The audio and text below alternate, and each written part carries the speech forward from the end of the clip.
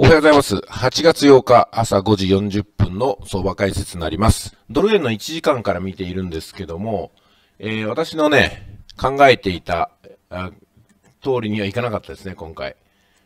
えっ、ー、とね、どういうふうに考えていたかというと、まあ、ここの抵抗、要するに、えー、あれですね、レンジを取りながら、こうなるだろうと思ったのは下の方に向かうだろうと思っていたんですよね。ちょっと上の方に行っちゃいましたね、1時間では。うん。まあ、エントリーしなくてよかったなと いうところでございます。昨日は一日ね、ちょっとエントリーする感じじゃなかったんでね、様子見てたんですけども、冷やしの方を見てみましょうか。ただ、冷やしの方はこういう風になってます。ここに、まあ、ゾーンがあってですね。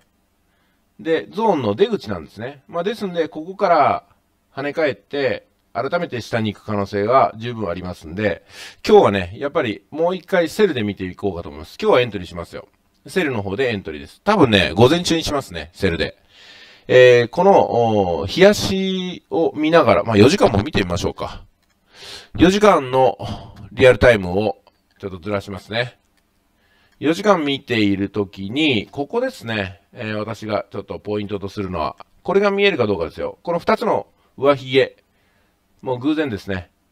あの、陰線と陽線の上髭ですけども、ここに当たって、どうなるかですよ。突き破って上に行くようでしたら、これはセルのエントリーはやりません。だからといって倍のエントリーするわけではありません。ただ、ここに跳ね返ってね、下に行くようでしたら、これはセルのエントリーをすぐ入ります。どこまで狙うかと言いますと、もうお分かりの方もいらっしゃいますよね。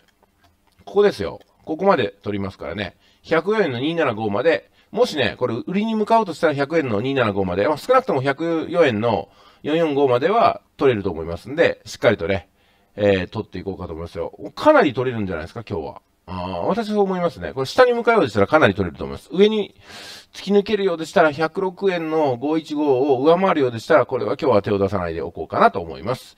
はい、本日は以上です。皆さんね、あの、勝てない勝てないと思う、うん、部分もあると思いますけども、うんとね、1枚皮を抜けると、勝てない勝てないではなくて、ほとんど勝てるになりますからね。急に変わります、これは。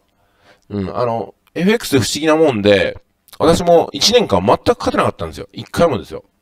1回も勝てなかったんですよ。最初始めた時ってのは。2年目からは、勝てないことが珍しくなりましたね。